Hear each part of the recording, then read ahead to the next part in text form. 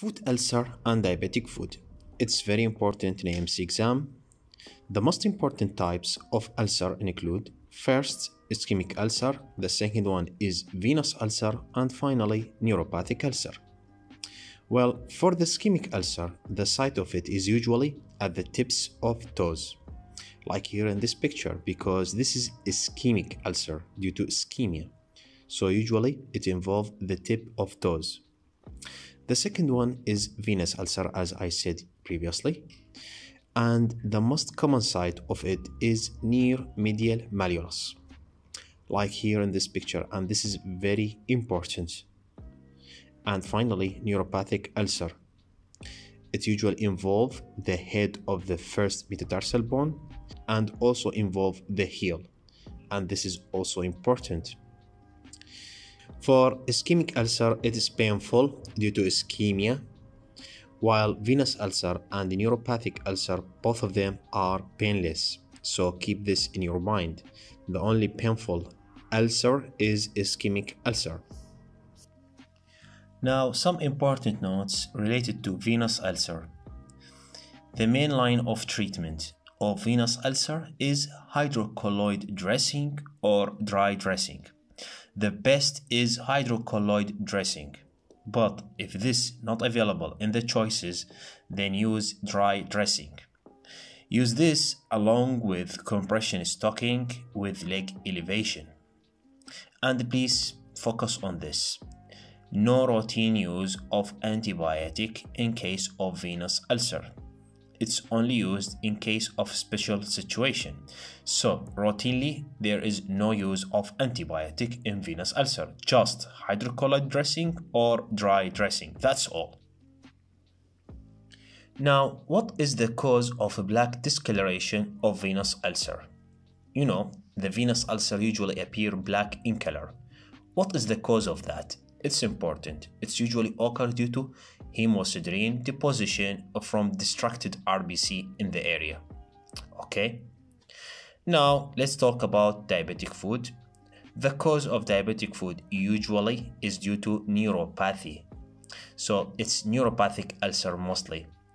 And the site is usually involved, as I said previously, the heel and also the head of the first metatarsal bone. For the step of management, the first step of management in case of diabetic foot is debridement of dead tissue. After that, it depends. If the area, I mean the ischemic area, is not infected, which means there is no pus and the area is clear, as here in this picture. So, if it's clear and there is no pus, the only treatment is debridement, then dressing, no antibiotic need.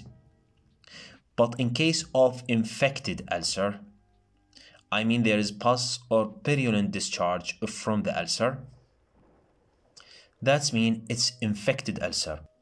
Then the treatment will be debridement first step, then dressing along with antibiotic use. Here it is important. Now the most important question is how I give the antibiotic. Is it oral? Is it IV? Is it at home? Is it at hospital? How I give it and on which thing I can depend on. Well, for AMC exam, it would depend on the erythema around the ulcer, as here in this picture.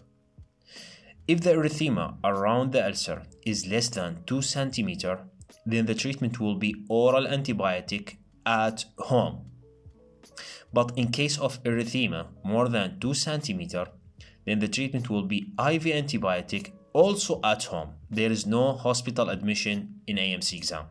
Okay?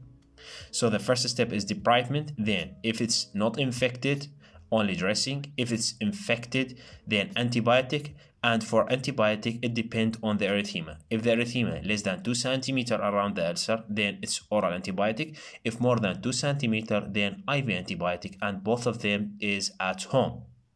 Finally what is the best way of prevention of diabetic ulcer?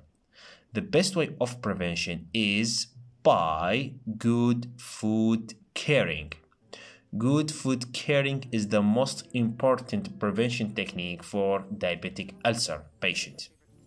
Okay, that's all for AMC exam. For full course, please contact us through amcqbook at gmail.com. Thanks and goodbye.